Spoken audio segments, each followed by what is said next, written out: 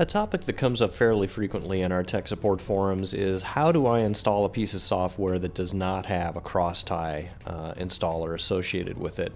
As you may be aware, if you go to our uh, application database and look for an application that a lot of these applications now come with uh, a, a big green button that says install this application via crosstie. Um, but what happens if you've got an application that you want to try out and you don't have a crosstie installer? Well, that's what this video will show you how to do. So the first thing we're going to do uh, is fire up Crossover and go and launch Crossover's installer. And instead of selecting a supported application to install, instead what we're going to do is select an unsupported application, an other application if you will. So the first thing that I'll do here is I need to select an installer and I happen to have one out on my desktop. So I will go ahead and pick it. It's just an exe file. And the next thing I will tell Crossover is, well, where should I put it, uh, so to speak?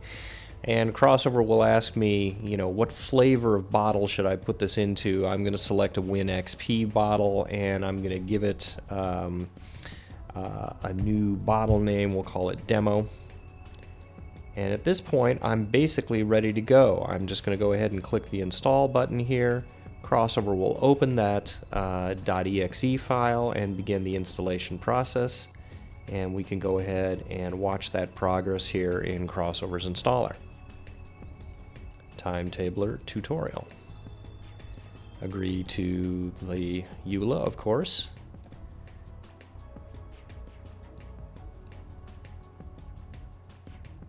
And that was very fast. Installation is complete. I can tell Crossover's installer, okay, I'm done. And then the installer uh, goes ahead and creates a launcher for us in our applications crossover uh, folder. We've created a new bottle called Timetabler 4. And here is the launcher for it. So let's just go ahead and click on that.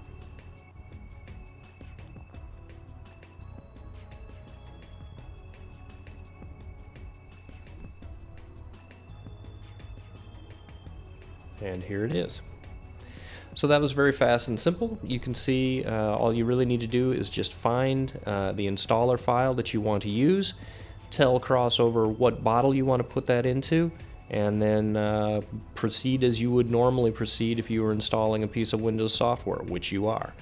Thanks very much. If you have any questions, obviously feel free to get a hold of us at technical support.